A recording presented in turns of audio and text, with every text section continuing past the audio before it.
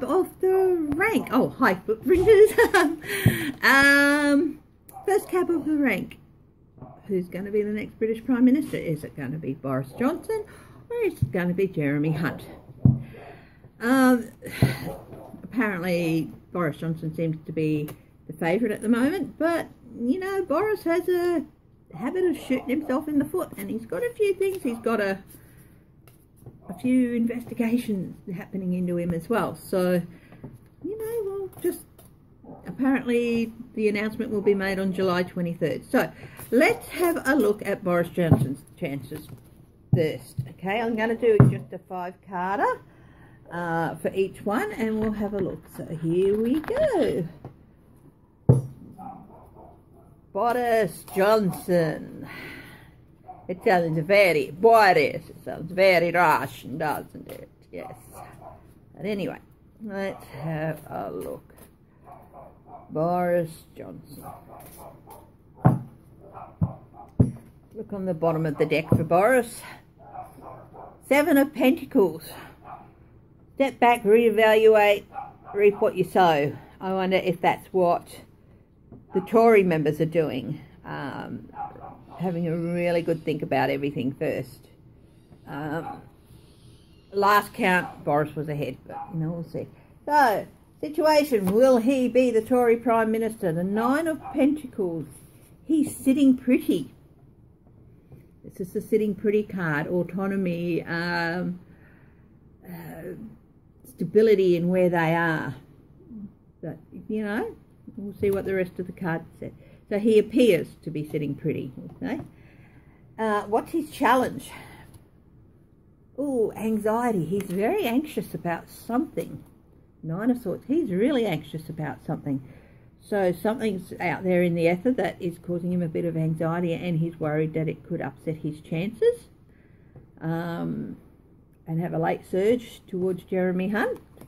So something's there. We might ask for a clarifier on that in a little bit the guidance for him. Prince of Swords, guidance. I think in this in this instance, since he's famous for charging in and opening opening his big yap, is the opposite of that. Do not go charging in and opening your mouth and creating more chaos. Um, sometimes I feel like Boris Johnson should come with a warning sign, you know open at your own risk or you, you know vote at your vote for him at your own risk.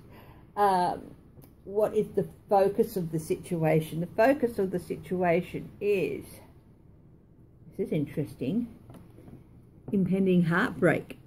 Maybe chances maybe what the rumors that are coming out aren't as for Boris as they appear, if, if, you know what I mean. Yeah, that's very tangled.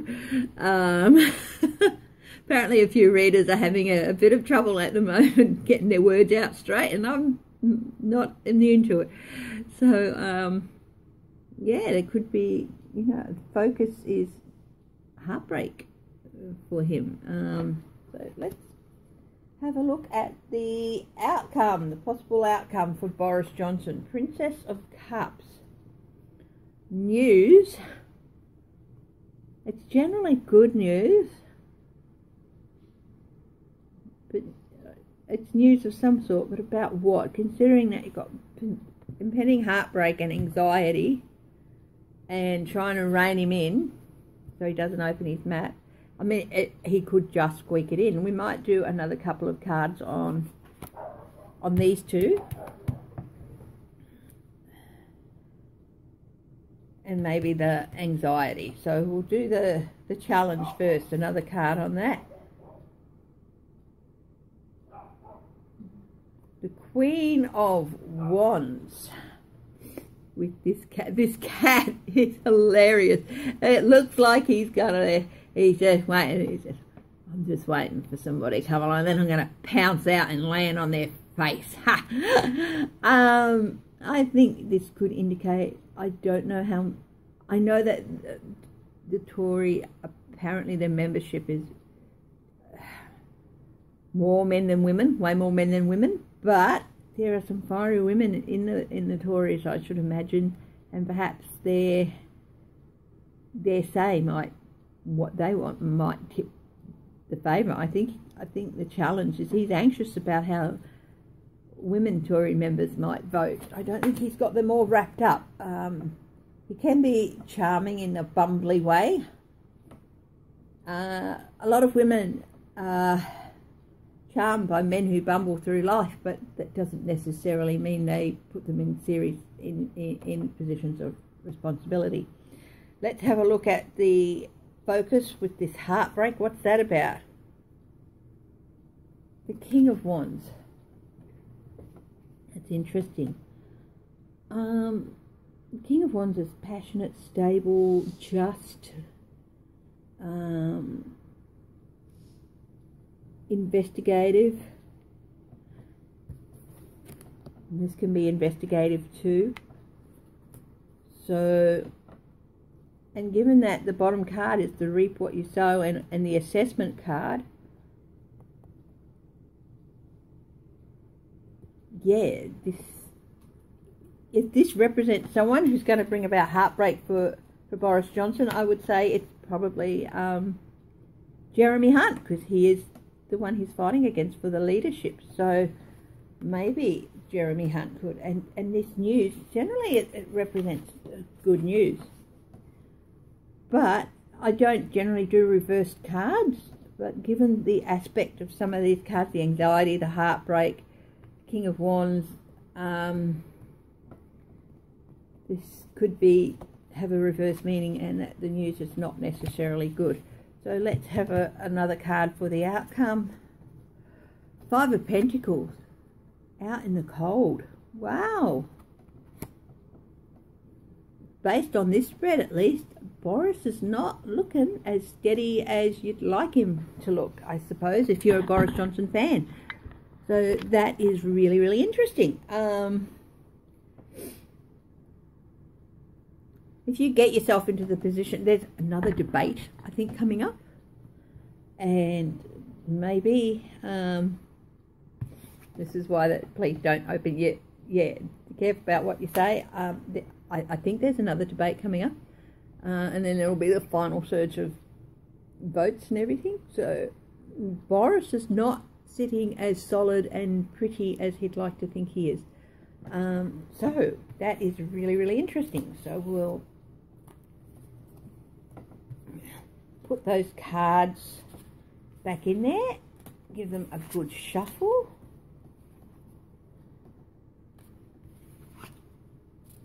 And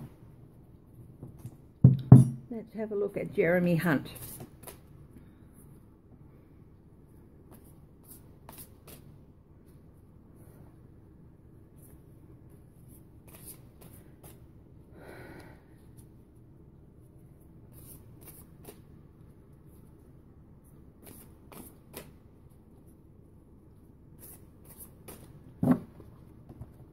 These a bit of a cut. Division, yeah.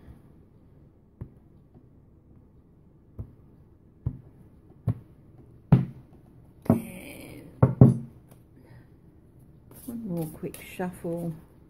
I cut them up into five different blocks and them around and give them one more quick shuffle.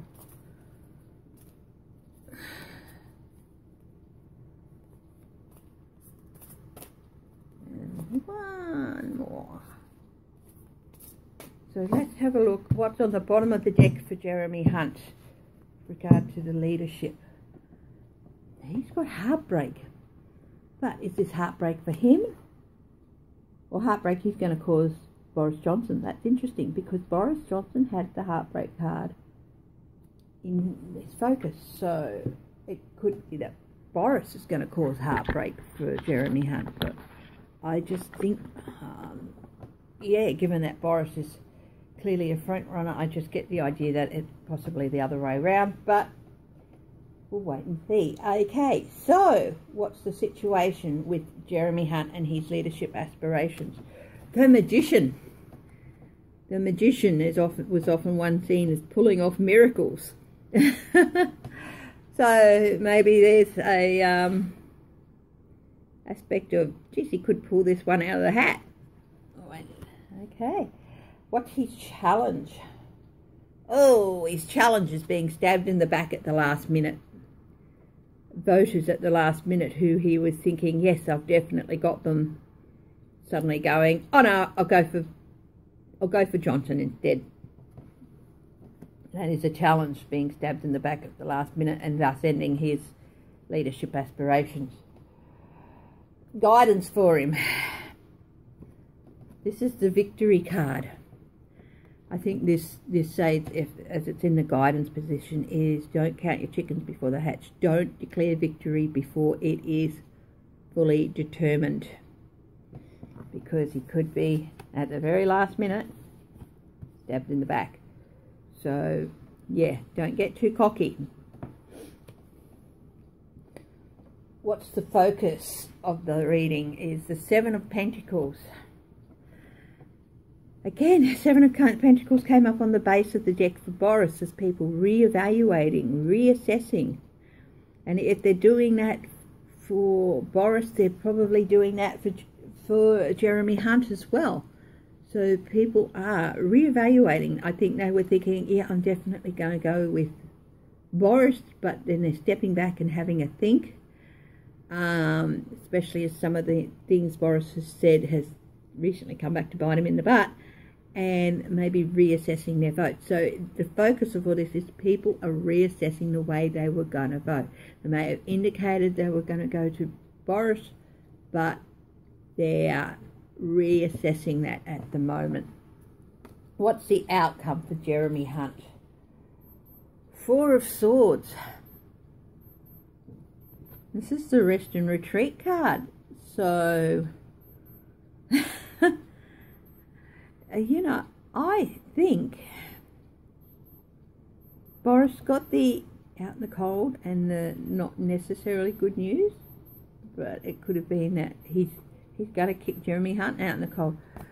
But this could be okay, taking a seat back, sitting back, having a rest, not necessarily retreating, but sitting down and catching his breath after it. So we'll, we'll do a little bit of clarifiers on the same three cards.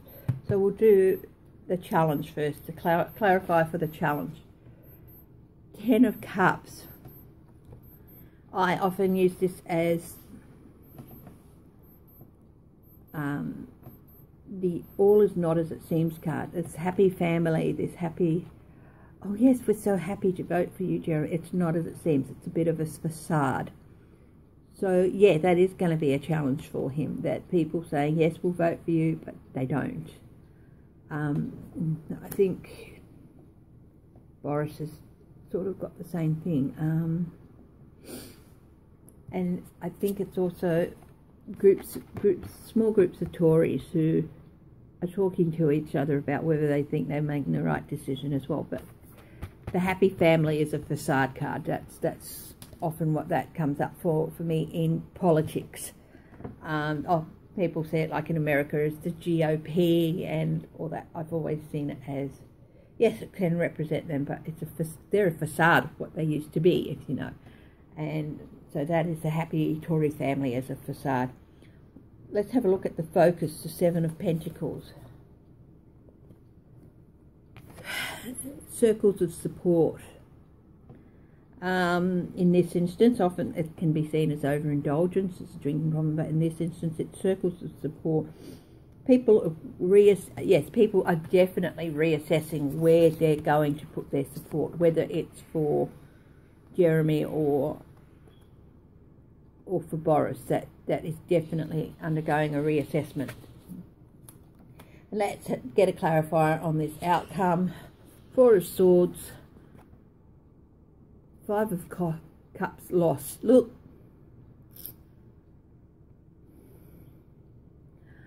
I think I think it's going to be a really, really close run thing. So I think it's going to be a really, really much closer than people anticipate. I think it's going to go down to a few hundred votes or maybe a few tens of votes even. Think Boris might just squeak in. Um, yeah. so um, that's really, really interesting. Um, yeah, so I, I think Boris might just squeak in and, and win the prime ministership. I just saw a. I'll do another reading a bit later because there was. I just saw a news heading for an article that said if Boris wins, he's going to call for an early election, and I'll look at that in a day or so. Okay. Um, love you all, footprinters. Uh, if you like what I do, please click like, click that like button, and share if you want, and let people know about me. Um, and yeah, I'm up over 40 subscribers now. I'm up to 41. So, you know, yay me, and yay you. Um, so, yay people who subscribe for me. Uh, thank you very much, and I'll see you at the next reading.